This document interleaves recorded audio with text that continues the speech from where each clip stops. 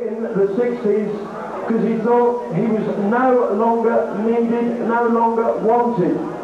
He came back to do Hemsby in the 90s and he's been going strong ever since. He's now got three albums, which is probably more than he had in the 50s, and I'm sure you've got them all. Come on, put your hands together for this rockabilly legend from Sun Records, Vernon Taylor!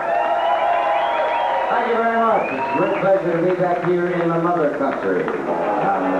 This is one Charlie Rich gave me in 1958 at Fernwood.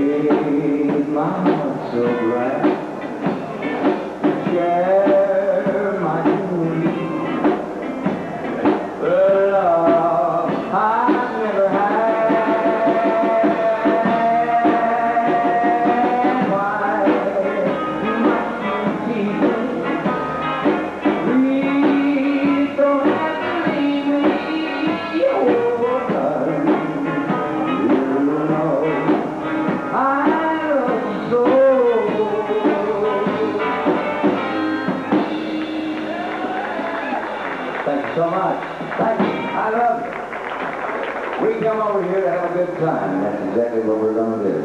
Hope you will too. There's another little song we have on our album. Daddy's rocking.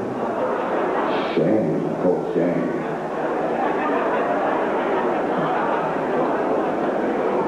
We're going to get Thomas LaBelle to help us out on this song. Let's give him a nice hand. He's, he's, not, he's no stranger here.